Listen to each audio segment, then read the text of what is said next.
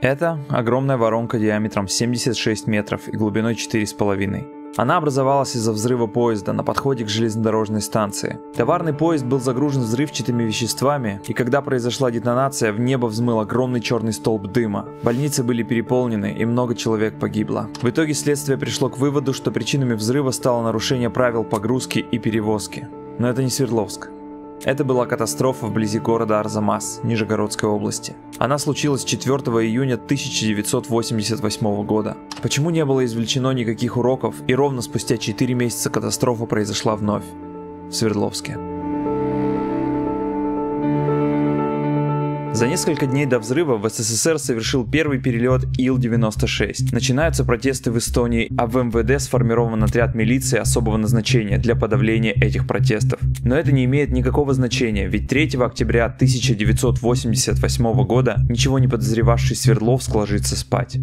В 4.33 по местному времени железнодорожный состав, который перевозил взрывчатые вещества, почти 47 тонн тротила и 40 тонн гексогена, покатился под уклон и врезался в проходящий мимо товарный поезд с углем. Составы повалились. При крушении был задет электрический столб, который упал на поезд со взрывчаткой, вследствие чего произошел взрыв. Тот самый взрыв. Катастрофа усилилась благодаря стоящему рядом большому складу горюче-смазочных материалов. Последствия взрыва были очень серьезные. Стекла были выбиты по всему району старой и новой сортировки. Сильно пострадало 600 домов. В непосредственной близости разрушения были настолько серьезные, что дома даже не стали восстанавливать. Так выглядел ДК железнодорожников, который тоже не стали восстанавливать. И в таком полуразрушенном виде он простоял до 2011 года, пока его не снесли. Ударная волна была длиной 10-15 километров. Шум от взрыва слышали даже в отдаленных районах Вторчермета и ЖБИ. Стекла были разбиты даже в центральных районах, в магазине «Океан», в гастрономе на Ленина и в Мускомедии. У Тюза, который находился довольно далеко, погнулись металлические опоры витража. По счастливому стечению обстоятельств жертв было не так много, так как это была глубокая ночь и все спали в своих квартирах. Всего погибло 6 человек. Три непосредственно во время взрыва и трое скончались в больнице. Раненых Раненых насчитывалось около 500 человек. В основном это были увечья от осколков стекла. Произойди этот взрыв несколькими часами позже, когда бы все спешили по делам и на станции полным ходом кипела работа, количество жертв могло бы исчисляться сотнями. По некоторым подсчетам даже называлась цифра более тысячи человек. Все небо города было затянуто черным густым дымом. Это внушало большой страх в жителей, так как все еще были свежи в памяти события двухлетней давности, когда произошла авария на Чернобыльской АЭС. Но в итоге загрязнения воздуха зафиксировано не было, а государство не замалчивало проблему и даже освещало события по телевидению Россию. 4 октября 1988 года в 4 часа 32 минут на железнодорожной станции Свердловск-Сортировочный произошел взрыв двух вагонов со взрывчатыми веществами. Перед вами хроника только одного первого дня.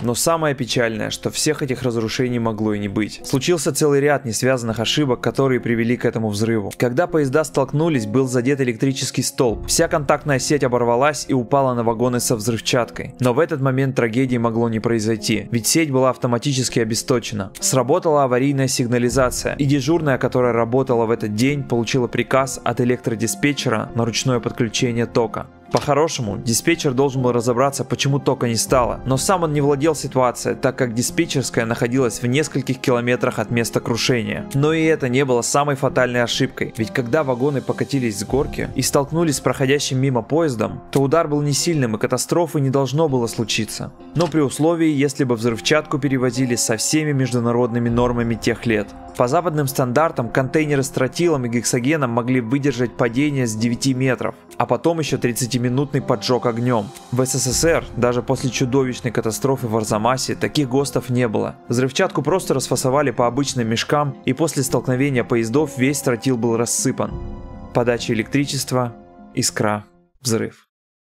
Восстановление после ЧП происходило очень быстро. Земляное полотно восстановили через 11,5 часов после взрыва. Было уложено 23 тысячи кубометров грунта. Это объем пятиэтажного пятиподъездного дома. Движение восстановили спустя 18 часов. Полностью восстановлена работа станции спустя трое суток и 15 часов. Ремонт разрушенных и поврежденных домов и квартир велся тоже ударными темпами. Со всей страны свозили стекло взамен разбитых окон и стройматериалы для полуразрушенных домов. Каждый день для восстановительных работ привлекалось все больше и больше людей из разных регионов страны. Например, в рекордный день 13 октября одновременно работало 16 тысяч человек. Всем оказавшимся без дома вручили квартиры в новых районах города. Люди, пережившие эту ужасную ночь, начали въезжать в новые квартиры.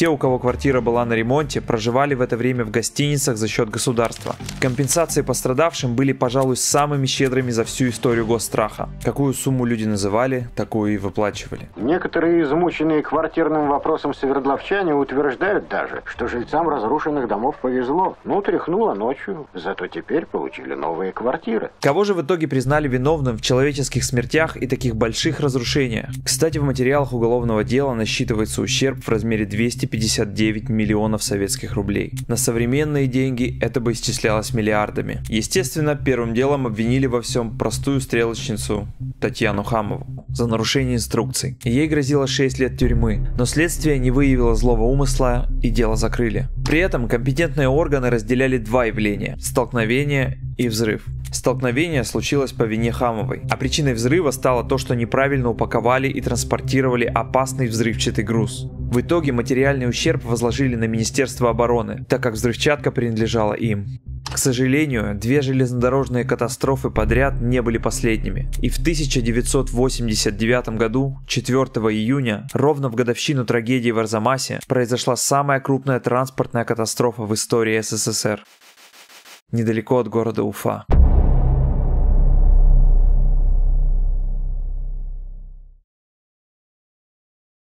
Спасибо за просмотр. Это мое первое видео на тему истории Екатеринбурга. Пишите в комментариях, как вам такой формат и какие события истории города осветить в следующих выпусках.